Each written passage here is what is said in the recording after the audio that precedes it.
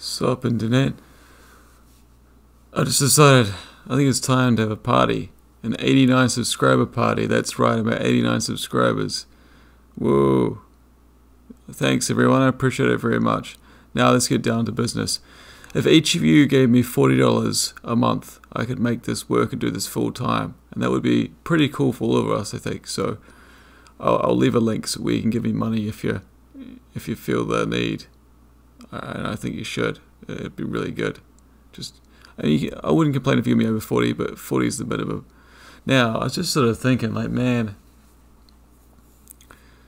Metal Gear Solid was such an awesome game, wasn't it? I was sort of thinking, it's such a shame that the guy that translated Metal Gear Solid 1 was fired by Kojima after the first game, because the first game sounds the most natural, whereas the games after that, dude, they sound a little bad, don't they? They sound a little bit, especially the second one. There's a lot of repetitive, odd dialogue. It's a little bit wooden.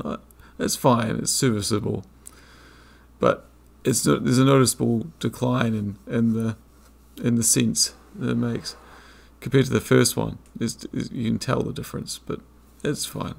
And the third game, I think, is a little bit better.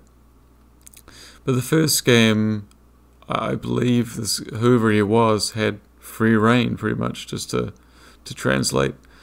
And um, you know, sort of often when you're translating, you, you've got to change things a fair bit to make it not just make sense, but but sound right. Sound, um, you know, um, what else can I say?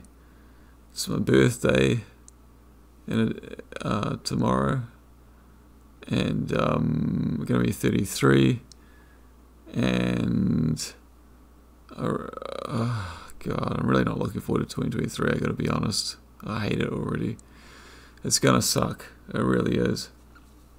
Anyway, I hope this was an interesting talk. Thanks for coming to the party. It was a fun one, I think, and uh, see you around, dude.